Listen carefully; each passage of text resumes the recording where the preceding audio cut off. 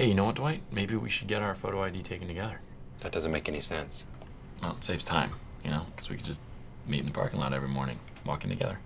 Perfect. Smile. No. I never smile if I can help it. Showing one's teeth is a submission signal in primates. When someone smiles at me, all I see is a chimpanzee begging for its life. This came out really well. There you go.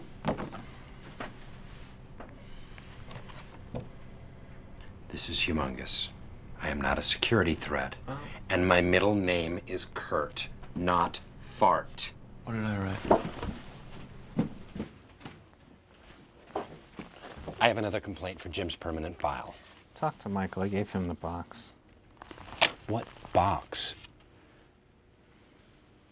I don't report your snoring like you. Oh. Oh, no! No!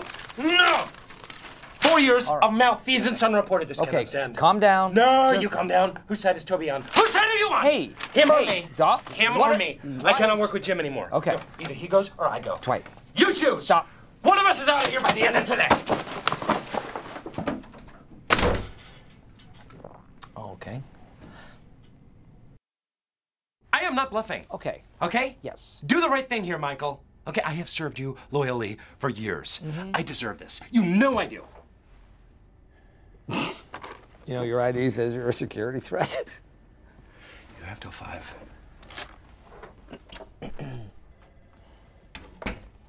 Oh, look, Jim. There's a sales manager position open in Stamford. Want me to call Jan and tell her you're interested? I could put in a good word for you, because I'll still be working here. Transfer, transfer. Everybody, transfer, transfer, transfer. Okay, you two in the conference room with me. Nobody leaves until we work this out. Cage match. Cage matches, yeah, they work. How could they not work?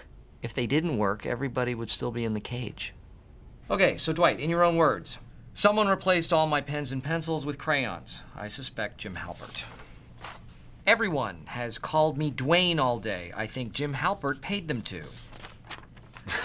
yes. Five bucks each, and it was totally worth it. This morning, I found a bloody glove in my desk drawer, and Jim Halpert tried to convince me I committed murder.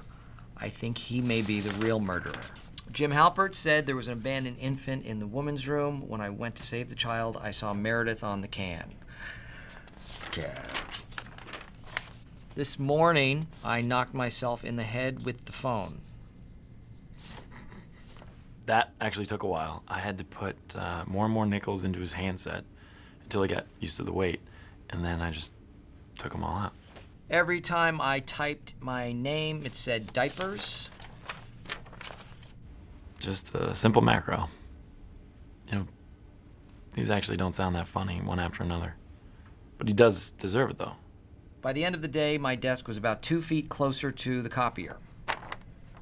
Yeah, I just moved it an inch every time I went to the bathroom. And that's how I spent my entire day that day. Okay, Ryan, you told Toby that Creed has a distinct old man smell. I know exactly what he's talking about. I sprout mung beans on a damp paper towel in my desk drawer. Very nutritious, but they smell like death.